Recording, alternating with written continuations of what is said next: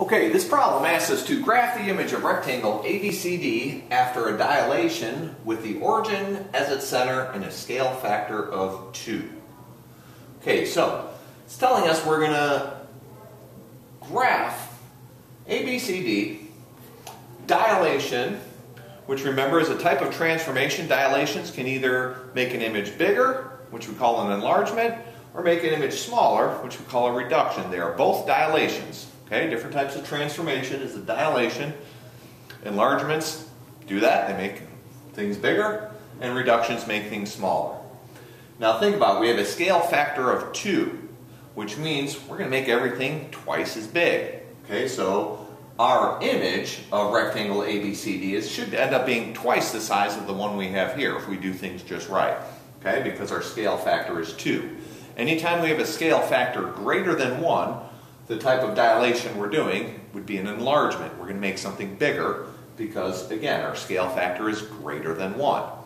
If we have a scale factor less than 1, then we're talking about making a reduction, making something smaller. Okay, but this asks us to use uh, a scale factor of 2.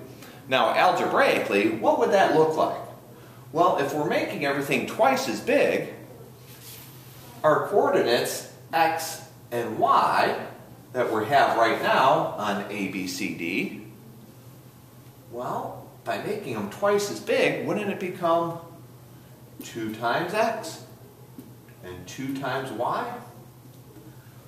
There's the algebraic representation of this dilation. Okay? The scale factor, basically, you plug in in front of your x and your y. So for instance, if I said to give this a scale factor of 1 half, then we would say xy becomes 1 half x, 1 half y. Okay, and then the way we'll find the vertices of the image is by applying our rule. We're going to multiply our x and y coordinates by 2. So if you notice, uh, vertex A on our pre-image or our original a has coordinates of 2, 6.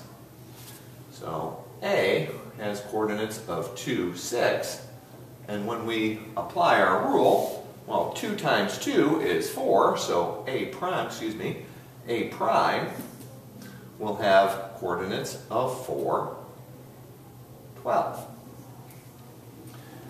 Vertex B had coordinates 4, 6 and those will become B prime will have coordinates of 8, 12.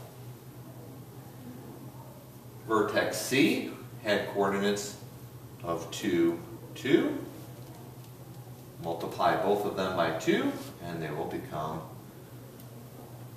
C prime will have coordinates 4, 4.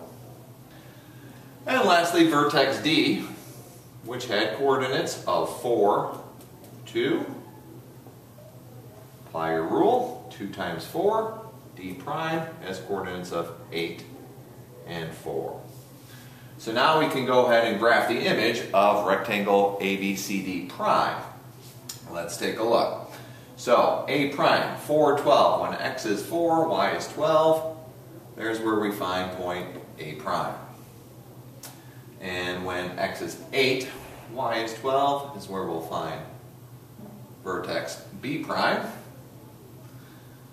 When x is 4, y is 4 is where we'll find C prime.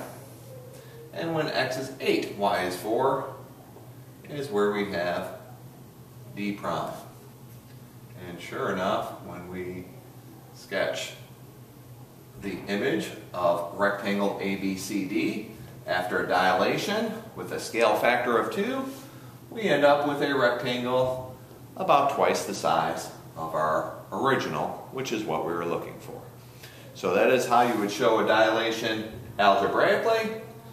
And again, make sure you, uh, asked for the coordinates of your vertices of the image, that you actually label them and write them incorrectly.